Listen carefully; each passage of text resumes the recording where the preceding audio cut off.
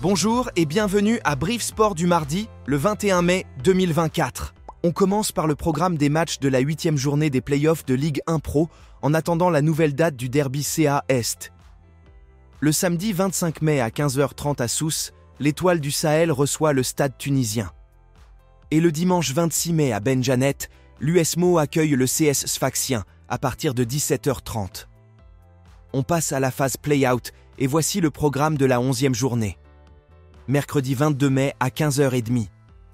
AS Soliman, AS Marsa et US Tatawin, US Ben Gerdan, jeudi 23 mai à 15h30. Club athlétique Bizertin, EGS Gafsa et ES Metlaoui, Olympique de Béja. En handball, la FTHB a confirmé les dates et horaires des finales du championnat élite et de Coupe de Tunisie senior, hommes entre l'Espérance et le club africain. La finale allée du championnat aura lieu le mercredi 22 mai à 18h, en présence du public clubiste.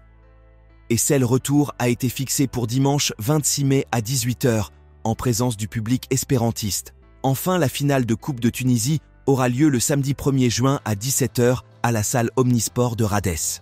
En basketball, l'US monastirienne est déjà à Kigali pour la phase finale de la Basket Africa League, où elle joue le match de classement précédant les quarts de finale ce samedi contre les Angolais de Petro Atlético à partir de 16h en direct sur On Time Sports et Almassar TV.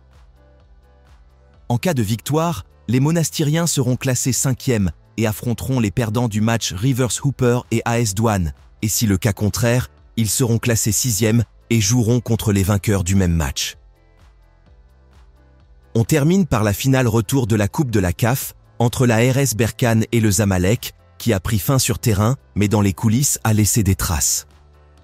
La direction de la RS Berkane a sévèrement tapé sur l'arbitrage et sur l'organisation en formulant plusieurs reproches envers les Égyptiens et l'homme en noir.